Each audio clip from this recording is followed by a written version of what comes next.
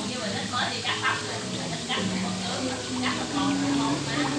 cắt thì cũng bên này thì cắt còn bên này cắt cổ lên trời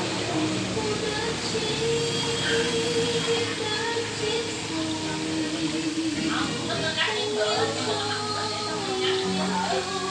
mà thôi nó không có gì đâu nó cắt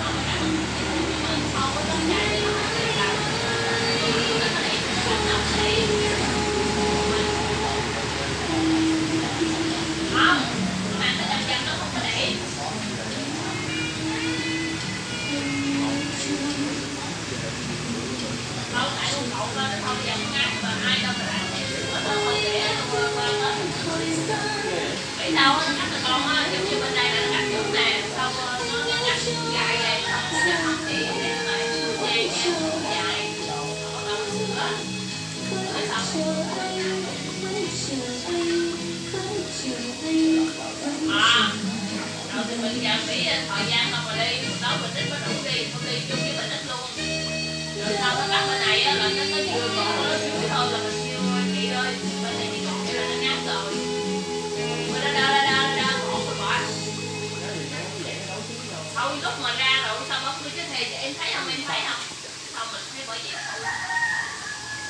vô là mẹ ti mới giới thiệu là ở nhà là mẹ cắt tóc không à tao bảo muốn hỏi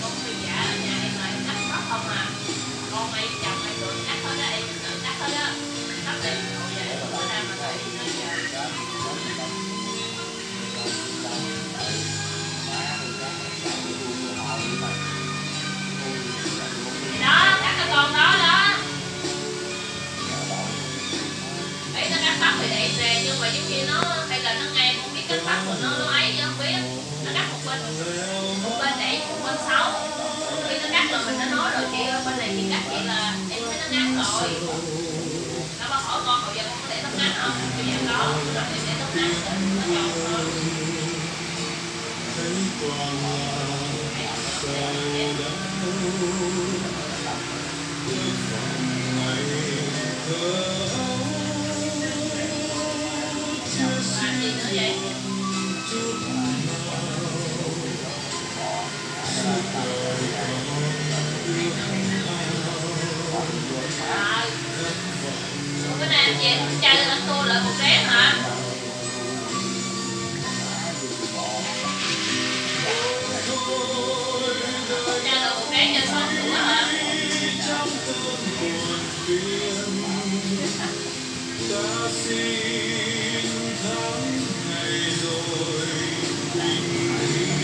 Chơi lại một rét cho